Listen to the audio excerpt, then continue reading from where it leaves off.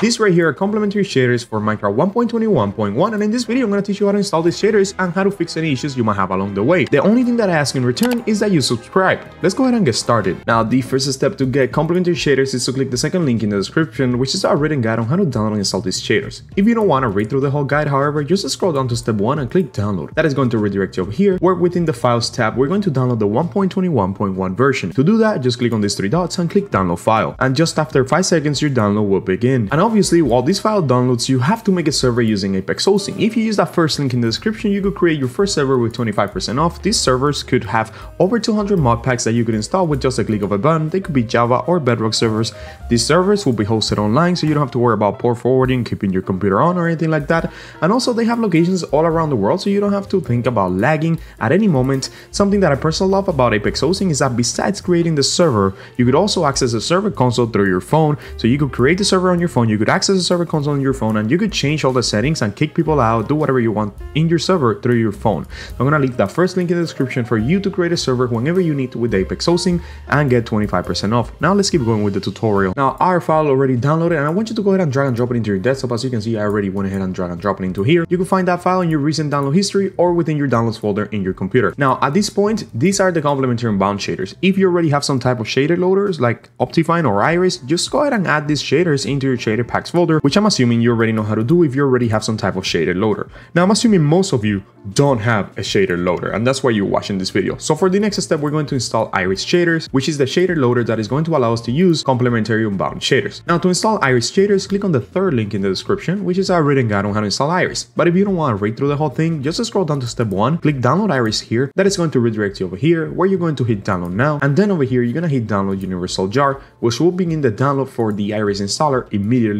And just like we did before, we're to go ahead and place this file into our desktop. As you can see, Iris installer right here, you could also just drag and drop it from your browser into the desktop. Now, these are really the only two files that we need to add shaders or complementary unbound shaders into our Minecraft. To do so, make sure you have closed Minecraft 1.21.1 and the Minecraft launcher completely from your computer. Once you've done that, I want you to go ahead and right click on the Iris installer, click open with and hit Java. That is going to open the Iris installer, which is going to look like this. And 1.21.1 should be selected automatically. If that's not the case, just scroll down through the list until you find it. Now, the only reason or the only issue that you could have when trying to open the Iris installer is that you don't have Java in your computer, which I'm going to show you how to fix in a bit. But if you were able to open the installer, just go ahead and hit install. Now, if you weren't able to open the installer, again, you're going to need Java 21. The thing is that after the update 1.20.5 for Minecraft, Java 21 is now needed for, like I said, any jar or any modding or any shaders that you add, creating a server, anything really relating to modding Minecraft or adding shaders will require Java 21. So I'm going to leave this guide in the description. It's going to be the fourth link on how to install Java 21. You just download it and then you just hit next a couple of times and you will install it.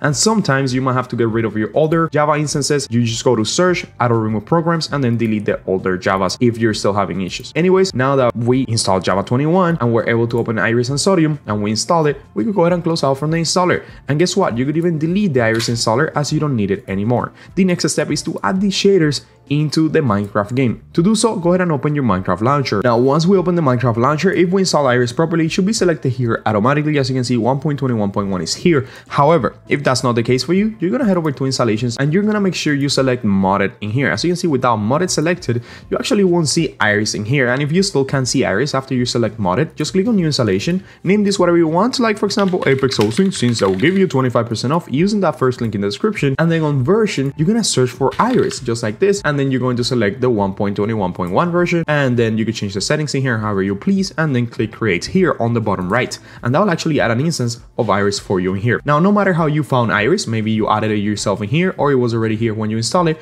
go ahead and launch it. You could launch it through the installations or through the play button in here. Just hit play. It might give you a little prompt in here saying are you sure you want to play modded Minecraft? Just click that yes you understand and then hit play again and wait for Iris to open. Now once Minecraft opens, it's time to add the shaders and to do that I want you to go ahead and open a world. It could be a single player or multiplayer world because shaders will work on multiplayer games since Iris Shaders is a client-side mod. Again, if you need a multiplayer server, use that first link in the description, create a server with 25% off, and what other better platform than Apex Hosting to do so, right? Anyways, once in the world, as you can see, I already have shaders on, but I'm actually gonna go ahead and turn them off. And if you're wondering how I did that, I just did it by pressing the letter K on my keyboard that actually turns off the shaders. Anyways, once in the world, to add complementary shaders, we're gonna go ahead and press escape, head over to options, click on video settings, and then in here, you're gonna see this menu has changed and you're going to click on shader packs.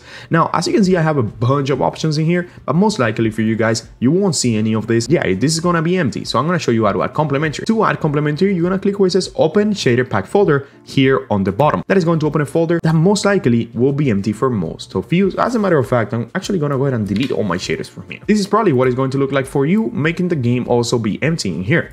Now, to add the shaders, all we have to do, guys, is minimize the game, don't close it, just minimize it, and then go ahead and drag and drop complementary Bound, the zip file that we downloaded in the first step, into this folder, the shader packs folder. Now, head back into the game, and as you can see, you will see complementary Bound here. This is the shader that we just downloaded and added into our shader packs folder. Just select it in here, hit apply, and then give it a couple seconds for it to load, as this will take more or less depending on your computer. Click on done once it loaded, done, done, back to the game, and as you can see, you now have complementary shaders. Again, these are one of the most beautiful shaders in my opinion for Minecraft. I went ahead and set the game to daytimes just so you could appreciate how beautiful these shaders are and it's super super easy to install. You could always access the shader pack menu by pressing O on your keyboard like this and you could always disable the shaders by pressing K and you could obviously enable them back on by pressing K as well. Just give it a couple seconds after you press K because sometimes it takes a little bit longer to uh, load.